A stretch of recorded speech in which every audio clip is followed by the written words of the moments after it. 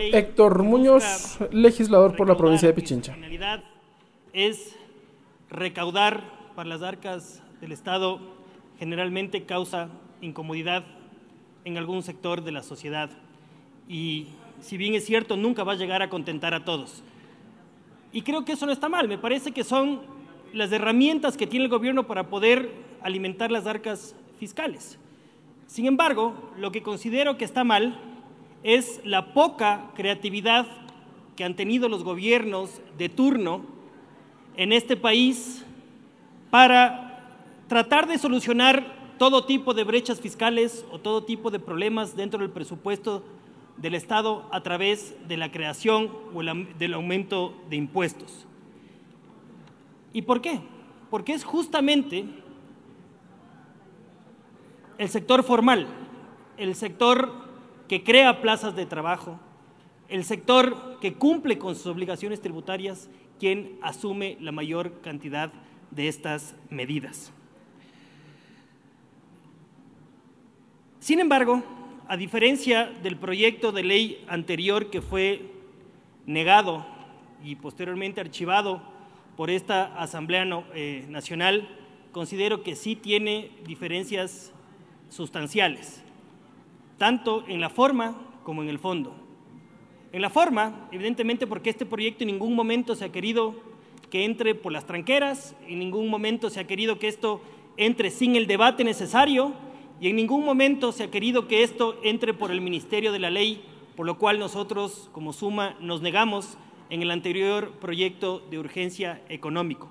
Al contrario, me parece que este proyecto ha tenido el debate suficiente, se han logrado eh, aportes importantes, incorporar observaciones que mejoraron el proyecto de ley que fue enviado en segunda instancia por el Gobierno Nacional. Y es así que, por ejemplo, en el, en el caso de Suma, se lograron incorporar las observaciones tanto del asambleísta Gabriel Larreategui, del asambleísta Sebastián Palacios, del asambleísta Guillermo Celi, y a nivel personal yo solicité que se incorpore un tema que no contenía este proyecto de ley, pero que sí contenía el proyecto anterior. Y es un tema muy importante de beneficio a los exportadores. Y es otorgarles este beneficio de una deducibilidad adicional al gasto que incurren los exportadores cuando contratan un seguro justamente para el pago de dichas, de, dichas exportaciones. Yo le había dicho en el primer debate de esta ley que el riesgo o el mayor riesgo que tienen los exportadores es justamente que se les incumple el pago.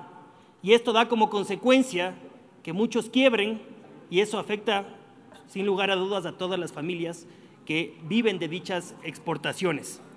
Por el contrario, el incentivar a este sector, el fortalecer a este sector, fortalece también la dolarización, hace que ingresen más divisas al país con su correspondiente recaudación, lo cual es absolutamente necesario para el Estado.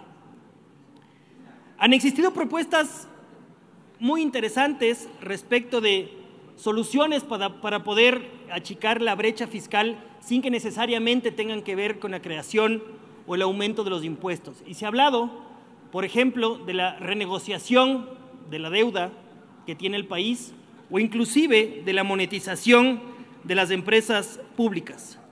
Sin embargo, estoy absolutamente seguro que ese tipo de negociaciones van a ser mucho más eficaces si es que el riesgo país del Ecuador baja.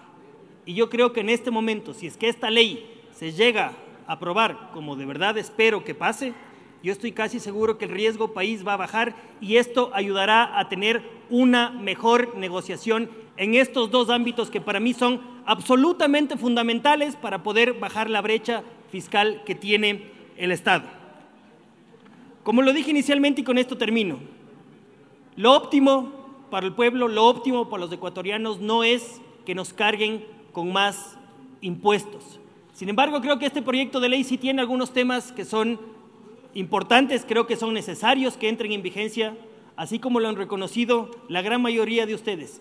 Y creo además que hoy el país necesita de una respuesta responsable de parte nuestra para poder sacar adelante las finanzas públicas. Muchas gracias, presidente.